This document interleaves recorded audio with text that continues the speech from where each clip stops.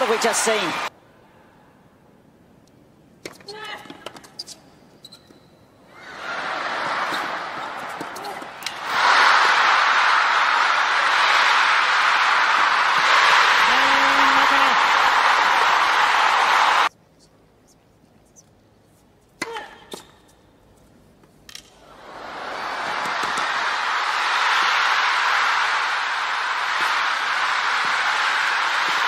No way.